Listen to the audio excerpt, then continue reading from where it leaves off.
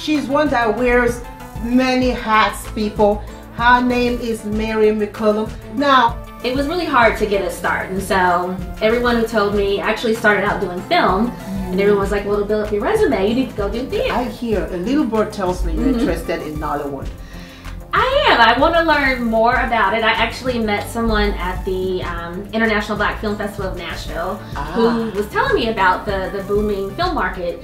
And a lot of difference when we start seeing uh, African American uh, contemporaries, our brothers and sisters, really that have put a lot of work into mm-hmm. their craft. right. And now they're being recognized uh, as winners in African Oscars What or was your even Gemma inspiration? Awards mm-hmm. for doing Sister Style production. I really just wanted to give other people like myself the opportunity Did you to. face with your plays, mm-hmm. putting the plays, making them into reality, versus what challenges did you face when you were doing the movies?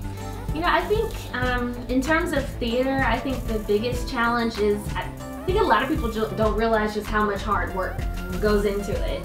You know, there's a lot of um, rehearsals and things like that to get to that opening night performance, and there's a lot of behind the scenes stuff that has to happen. So I think just being able to wear different hats is very important, um, especially if you're going to be a playwright and you want to produce your own work Yeah. which is probably the quickest way to get things out there, but maybe not the easiest way to No, get it's out not. there. Wisdom nugget for those who are out there that are looking to break into the industry. What is the wisdom nugget that you have for them?